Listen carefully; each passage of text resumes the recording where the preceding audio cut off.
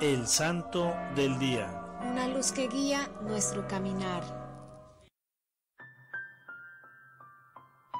Hoy 12 de agosto conmemoramos a Santa Juana Francisca de Chantal, religiosa y fundadora. Nació en Dijon, Francia, el 23 de enero de 1572, en la época del cisma protestante y de la contrarreforma.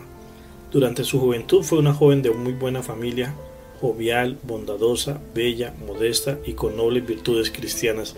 Se casó muy enamorada con el barón de Chantal, con quien tuvo seis hijos. Sin embargo, su felicidad marital se vio frustrada en el año 1600 debido a un accidente durante una cacería en el que su esposo falleció. El golpe fue muy duro para ella y guardó un luto muy sufrido.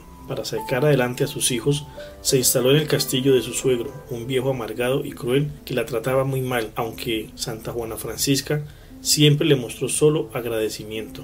En el año 1604 conoció a San Francisco de Sales, el santo obispo de Ginebra, lo que a ella le representó una experiencia crucial.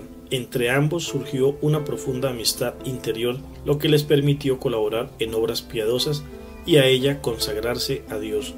De este modo, ambos fundaron en 1610 la Orden de la Visitación de Santa María, conocida como de las Hermanas Salesianas, cuyo propósito fundamental era la atención a los enfermos.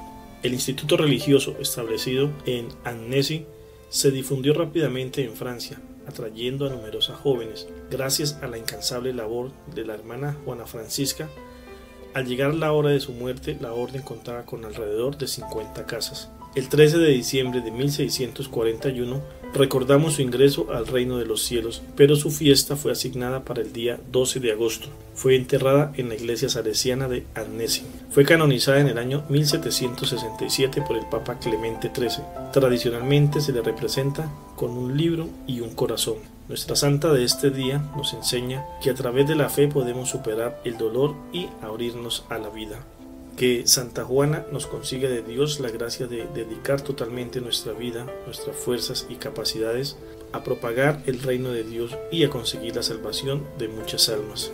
Otros santos de este día, 12 de agosto, San Eleazar, San Pedro del Barco, Beato Enrique María Gómez.